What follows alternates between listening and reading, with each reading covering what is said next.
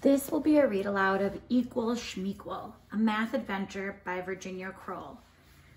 At the end of this story, you are going to answer three questions. What does it mean to be equal in this story? Can you give an example of things that are equal at your house? How about an example of things that are not equal? So while you're listening to this story, be sure to be thinking about what it means to be equal in this story. Equal Shmequal, a math adventure by Virginia Kroll. A little brown mouse sat under a leaf watching a school picnic. The children finished eating and began to play. Some played tag, some chose teams for a game. The two sides have to be equal, one of them shouted. The children pulled on the ends of a rope. One team was pulled over a line. The other team cheered, Hooray, we won, we won! Then one of the teachers called to the children. They all got into a big yellow bus that drove off down the road. All was quiet. Hmm, that looked like fun. Hey, Bear, called the mouse, come out and play. Bear walked out from the trees. What do you want to play? It's a game, squeaked Mouse. You take one end of the rope and I take the other. We both pull to see who wins. Bear gave the rope a mighty yank. Mouse flew across the field. She landed on the ground with a thump. Hey, said Bear, where did you go? No fair, squealed Mouse. She picked herself up. I forgot that teams have to be equal. Equal shmequal, said Bear. Suddenly, sharp claws grabbed the mouse. It was Bobcat. Gotcha, he snarled. Help, squealed Mouse. Bear stood up on his hind legs and growled. Let Mouse go right now. Bobcat whimpered. I just want to join the game. See, Wolf's right here. He wants to play too. Wolf stepped out into the open. Mouse brushed off her fur. She said in her bravest voice, of course you guys can play. Everyone can play as long as the teams are equal. Equal shmequal, said Bear. He reached into one of the trash cans and pulled out a half-eaten sandwich. Rabbit hopped onto the field. Can we play too? Rabbit asked. Box Turtle plodded close behind. What does equal mean anyway? he asked. Equal means fair, explained Mouse. We should divide into two equal teams somehow. Equal shmequal, Bear mumbled with a mouthful of chocolate cake. Let's try meat eaters again, against plant eaters, said Rabbit. That would be fair. What about Turtle and me? asked Mouse. We eat anything small enough. Well, said Rabbit, what are your favorite foods? Mouse replied, I like blackberries best. I eat mostly bugs, said Turtle, but my favorite food is dandelions. If you like plants best, you belong on my team, said Rabbit. So it's animals that eat only meat against the rest of us. Bobcat laughed. You think this is equal? Ha! With just one hard pull, he and Wolf yanked Mouse, Rabbit, and Turtle across the line. They landed in a heap. That wasn't equal, Turtle complained, peeking from his shell.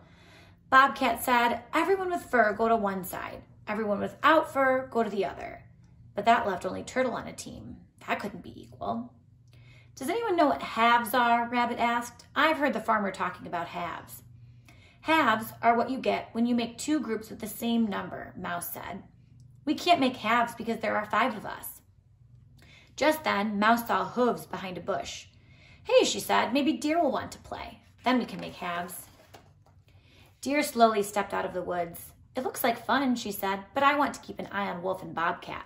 I'll pull from behind them. The animals lined up three on one side and three on the other. They pulled, but once again, Mouse, Rabbit, and Turtle were easily dragged over the line. No fair, complained Rabbit. They're all big and we're all small, so it isn't equal at all. You're right, said Mouse. The numbers are equal, but that doesn't make the teams equal. Equal shmequal, Bear exclaimed, finishing off a piece of pizza. The animals scowled at each other. Everyone began talking at the same time. It's no fair. You're so much bigger. You're just mad because you lost. You don't care if the teams are equal as long as you win. Mouse sat by herself and tried to think of a new idea. She tapped a tiny foot and twirled a wiry whisker. Listen, said Mouse. Listen up, she said louder. I have an idea. The animals stopped fighting. Well, asked the bobcat, what's your great idea? I thought that instead of equal numbers, she explained, our teams could have equal weights. We could use the seesaw to figure it out. Look, said Mouse, when what's on one side of the seesaw is equal to what's on the other side, the seesaw balances. You can tell because it's straight across. Okay, said Turtle, let me get on first since I can't jump. He walked on to the end of the seesaw, touching the ground. I'll get on the other side, Wolf said. Wolf jumped onto the center of the seesaw and made his way toward the end. Turtle was lifted high into the air. He looked down the long way to the ground and tried not to be scared. Deer got up on Turtle's side, their side sank down, and Wolf up, rose up into the air. I'm next, shouted Bobcat. He got onto Wolf's side, but Wolf and Bobcat together were still up in the air. With a mighty hop, Rabbit landed in front of Bobcat. Now the seesaw was almost balanced. Come on, shouted Rabbit. You're the last one, Mouse. Mouse scampered up next to Deer. The seesaw teetered back and forth before resting perfectly straight across. The teams were balanced. We did it, we're equal, Mouse squeaked. Then Bear looked up from his crumbs and ran over roaring, wait for me! He jumped on and down went his side of the seesaw with a bump. Deer, Mouse, and Turtle went flying into the air. Oops, said Bear. I guess it's not equal anymore. We can get this right, Mouse said cheerfully. Let's try again. Bear, get on first. Bear sat on one end with the other end high in the air. Bobcat offered to get on the high side first. If I fall, I'll land on my feet. Cats always do. The rest of the animals got on. Each one made Bear's side lift a little. Finally, all the animals were on except Mouse. Come on, shouted Rabbit. We're almost equal. Mouse jumped onto the middle of the seesaw. Bear's side was higher, so she walked toward him. The seesaw was perfectly balanced. They jumped off one by one and picked up the rope. Bear and Mouse were on one side of the line, and all the other animals were on the other. Okay, said Mouse. Now the teams have equal weight. Whichever team pulls the other across this line wins. Bear and Mouse pulled. Turtle, Rabbit, Bobcat, Wolf, and Deer pulled back. I'm bigger than all of you, said Bear. I'll win.